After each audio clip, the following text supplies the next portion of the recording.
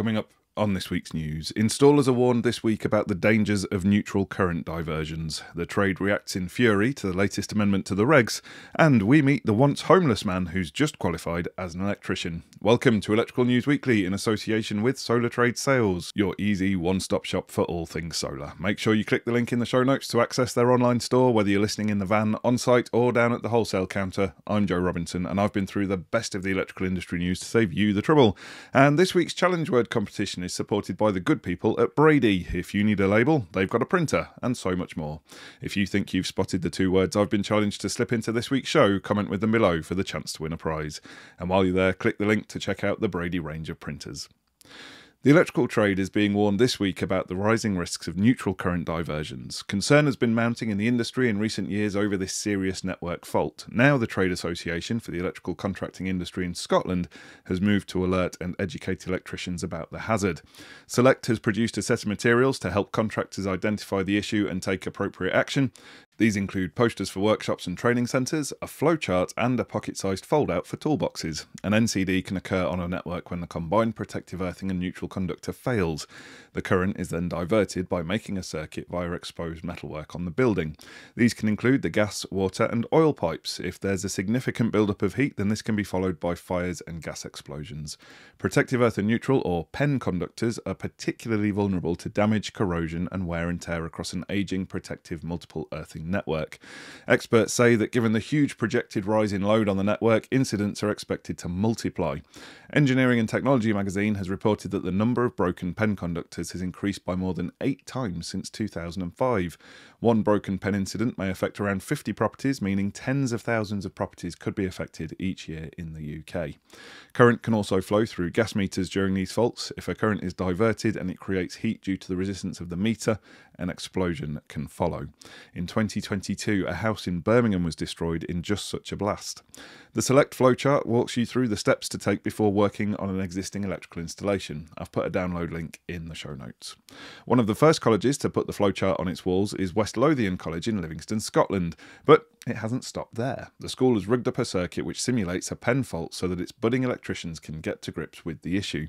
It's such a successful training tool that lecturers want to create another 21 to share with rival institutions. My colleague Gary has been along to see the rig and he's now issued a plea to manufacturers to help make the rollout of the rig happen. So if you think you can assist, get in touch in the comments. I've put a link to his video about the setup in the show notes. Speaking of training, last week's question of the week came from our free training package on emergency lighting made in association with And asked how often should a visual inspection of central control power supply indicators to check that the system is in an operational and ready condition be carried out? The correct answer is, of course, daily, and only 53% of viewers on YouTube were correct, but that was a magnificently impressive result compared with the 17% on LinkedIn. To be fair though, I did have to pare the question down to the bone to get it to fit into the draconian character limit on LinkedIn polls, so maybe that's why so many got it wrong. Which could also account for the poor showing on X as well, where only 34% of people were right. Either way, make sure you check out that free training package from Robus to brush up on your knowledge. The link is in the show notes. In other news, the trade has reacted with fury to the latest proposed amendment to the wiring regulations. The authors of the wiring regs recently warned the trade of the impact of Amendment 4. This revision is designed to match us with European standards and includes requirements for secondary batteries, generating sets, and power over Ethernet installations. It also sets out the procedures for functional earthing and bonding for computer systems, but contractors slammed the changes as information overload. They say the constant need to keep up is becoming a major burden on the trade, which is not reflected in salary levels. Others point out that it was different when they joined the trade. Changes to practice back then were rare and well signposted. Specifically, electricians have criticised the inclusion of power over Ethernet installations in the regulations as overreach. One commenter, Warren Boswell, said the electrical profession was in danger of regulating itself out of existence. Also looking to amend current practice is charger and battery pack maker myenergi, which has this week thrown its weight behind the concept of cross pavement charging charging. The company says the technique of putting cables in recessed gullies allows EV owners without driveways to plug in their vehicles. It's teamed up with one of the technology's pioneers, Kerbo Charge, to promote it to local authorities. Already, many councils have given the green light to cross pavement charging. Some are even providing the service to its residents. But the issue is not without controversy. Earlier this year, eFIXX exclusively revealed that some electrical experts have grave reservations about the move to street charging, and some local authorities say they won't proceed without further guidance from the Department for Transport. The alarm stems from the risk of simultaneous contact between the body of an electric vehicle and another vehicle or a piece of street furniture, such as a metal lamppost or telecoms cabinet. Experts say that unless the two items are connected to the same distribution systems, there is a risk, in a fault, of a high potential difference between them. For their part, the IET and the ECA both require a simultaneous contact assessment before starting an install. If you can't guarantee items are connected to similar distribution systems, then according to the guidance, you can't proceed with the install. We will, of course, keep you posted about any further developments in this issue.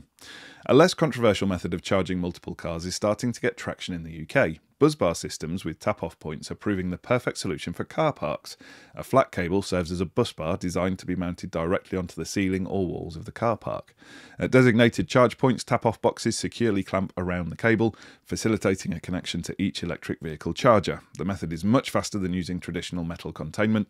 Brands supplying the kit include Wieland, Schneider, and Legrand. Gordon popped along to an underground car park in central London to witness an install. The worst bit? The bill from the DNO for the 400 amp connection, which came in at an eye watering £25,000. Still, the Bentley drivers of London seemed delighted with the job. Gordon's video is cooler than an Eskimo with an ice cream and well worth a watch, so I've put the link in the show notes. And finally, on EV charging, Rolec and Sinexcel have unveiled the UltraCharge 30, a compact and cost effective solution set to change the game in EV charging. Designed for accessibility and affordability, this rapid charging marvel is perfect for businesses looking to implement EV charging with minimal investment. Building on the success of its predecessor, the UltraCharge 160, the UltraCharge 30 packs the same trusted technology into a smaller, very affordable package.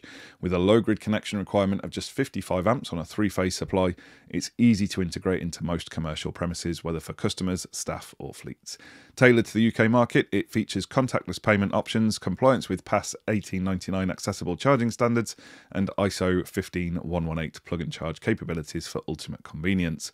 Plus, it's future proof, supporting OCPP 2.0.1 upgrades to keep pace with industry evolution. This unit is easy to install, simple to maintain, and backed by Rolec's and Sinexcel's technical teams who stand ready to offer full support. Even better, it's already in stock and ready for immediate delivery in the UK. Now, back to the capital. A man who overcame homelessness to qualify as an electrician has thanked the people who helped him. Andrew Onosanya, a graduate of the College of Northwest London, was recently presented with an award by the Prince of Wales. While training as an apprentice, Andrew found himself in a precarious position when his housing benefit was cut. He sought help from the homeless charity Centrepoint, which provided him with a safe living environment. The support allowed him to focus on his studies and work towards a career. Last year, he completed his level 3 and is now a qualified electrician. We wish him very well. Another man we want to wish well is our very own Gary, who's just turned 50. He hit the half century last week, but he's been strangely silent about it on social media and in Lineside Studios. So I'm here to tell the world be nice to him. He's getting on a bit. Seriously, I'd like to give a shout out to Gary for all the unseen work he does for colleges and apprentices up and down the country.